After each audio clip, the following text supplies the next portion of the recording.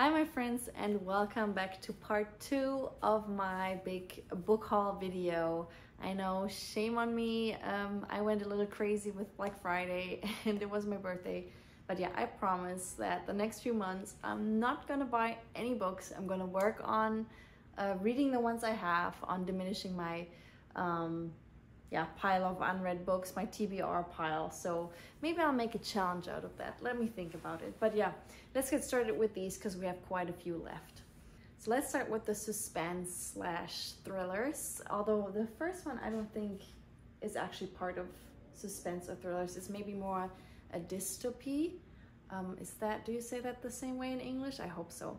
It's the one by John Marrs. Maybe you've seen the Netflix series I just now saw that it is on Netflix. I had no idea. Um, but yeah, the story sounded really interesting. It's about we're in our world, and um, there is this new dating app that basically tests your DNA and promises to find your soulmate based on your DNA. The founders of the app say that they found this gene that, yeah, lets them pick or allows them to tell you who is genetically your perfect match. And so people are doing this and you can already, yeah, kind of see where this leads to conflicts. So marriages get broken up because, because people find out, okay, I'm not married to my actual soulmate. And other people maybe find their soulmate, but it turns out, hey, I don't really get along as well as I should with somebody who is my soulmate. So a lot of potential for conflict. And I really enjoy these stories that are about technology when technology is too overreaching. I find them very interesting and scary because if you think about it, these are scenarios that maybe one day might happen. So right now I'm glad it's just a dystopic, a dystopy. Anyways, um, it gives me Black Mirror vibes. I wanted to mention that too. I don't know if you saw the episodes on Netflix, but yeah, that's what I get. And I'm very interested to see how this is and maybe I'll watch the Netflix show afterwards. We'll see. The next thriller is Rock, Paper, Scissor by Alice Feeney. And it is about a couple where, um, how did they describe it? The guy, it's Mr. and Mrs. Wright, and Mr. Wright is, um, has face blindness. So he can't even recognize his wife. I guess he can't recognize faces in general. Maybe has no memory. And yeah, obviously his wife has gotten very sick of this condition and feels like she isn't seen. And so they win this trip um, to go on a vacation together. And they go, but it turns out that it's not an accident that the both of them um, ended up on this trip that it was planned and one of them has a secret and maybe there's also somebody who doesn't want them to live happily ever after. So I think it sounds very interesting. I do wonder though how it works when you're a partner with somebody who is has face blindness.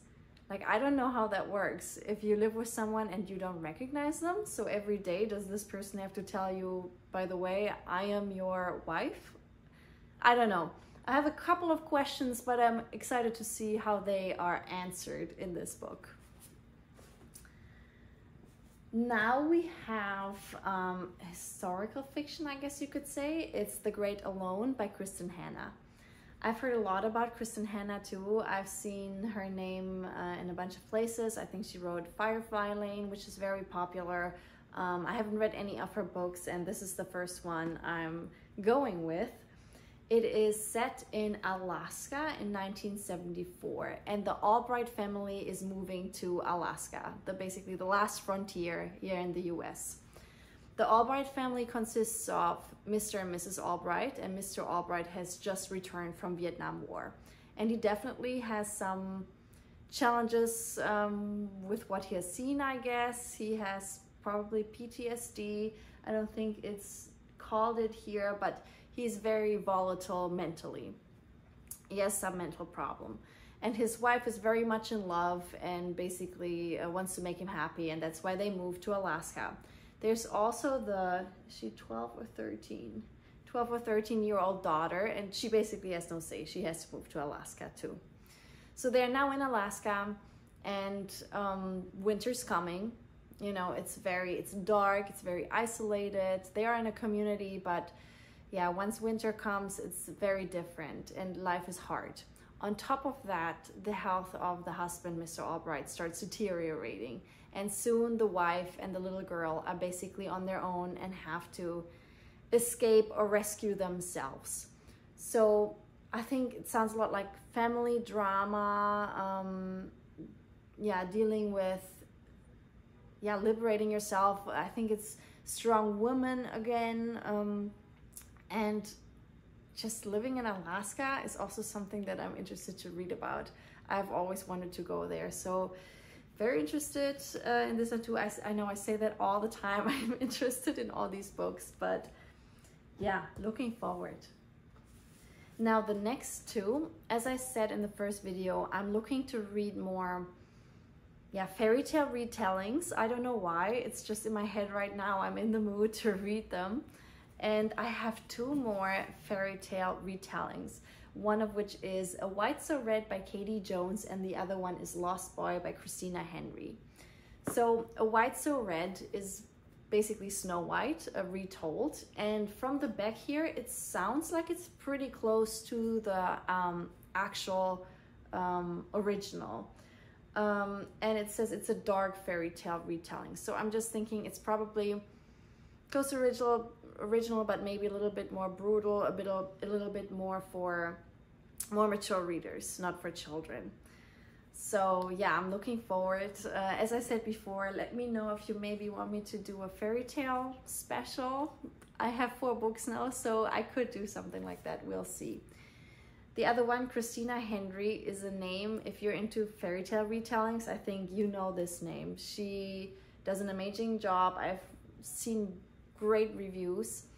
Um, and so I'm interested to read Lost Boy, my first fairy tale retelling by Christina Henry. It's about the story of Peter Pan. And I'm just gonna read the back because it's perfectly summarized and it's it sounds very thrilling. There is one version of my story that everyone knows, and then there's the truth. That is how it happened how I went from being Peter Pan's first and favorite lost boy to his greatest enemy.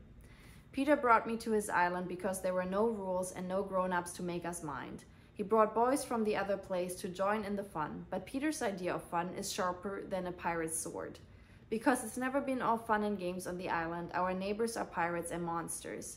Our toys are knife and sticks and rock, and the kind of playthings that bite. Peter promised we would all be young and happy forever. Peter lies. So I'm so interested. It sounds, yeah, like Peter Pan, one of the boys that he brought to his land, basically becoming his enemy.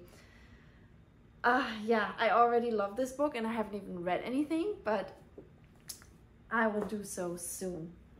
All right, with this book, I can't really say that it is um, a new book. I have owned Where the Crawdads Sing by Delia Owens before, but the one I had was a paperback and it was cut off in the front. And I hate when they do that to books. I hate when they cut off the cover um, and write something like bestseller. Uh, yeah, I don't like that. So I love the story. It was one of my five star reads this year. So I just had to get the pretty deluxe edition to put in my shelf and to look at. I know, sometimes you just have to treat yourself. But yeah, I gave the old version already to a friend of mine, so otherwise I would show you the difference, but it's it looks so pretty. And look at the, the drawing. And we have a few more in here. Let's see. Oh, actually, no, that was it. Yeah, but I'm really happy about it. Um, I'm just gonna say briefly, it's a coming of age story. We follow Kya, who lives in the marshland in North Carolina, and she's growing up very independently on her own. She has to raise herself in the wilderness, and she's an outcast. The town views her off as something, yeah, it's not part of their group and when there's a crime happening, somebody gets killed, they are very quick to blame her for it. So that's the basic line. If you want to know about it, watch my five-star read video um, that I posted earlier this year. And yeah, it was just fantastic. And I can just tell everybody please read Where the Crawdads Sing, sing if you haven't done so yet. Now let's get to the last books here. They are very special. I went to my uh, favorite bookstore and they had a table that basically said blind date with a book. And all the books on the table were wrapped up in paper and somebody had written um, something on the paper about the book, but you hadn't have no idea which book is inside that paper. I don't know if I'm expressing myself clearly here, but I'll just show you. So for example, this one, it's wrapped like this. It says a queer humorous coming of age story and that's it. You have no idea what's inside. And so I just picked the three that I thought sounded most interesting and this was one of them because who doesn't love a queer humorous coming of age story? And also who doesn't love pizza? So I'm very excited to find out what it is. I have honestly no clue. Um, neither do I have a clue about the other two, the, which are Mother-in-Law from Hell, a dark domestic horror. Uh, I picked this one because this was the first year that I started reading horror and surprisingly, I did not expect it. I enjoyed it a lot. So I want to read a few more horror books um, sprinkled in and I had none on my TBR. So I needed to change that and pick this one up. So we'll find out soon, hopefully, which cover is hidden underneath the paper. The last one is Cli-Fi, one of Barack Obama's favorite books of 2021.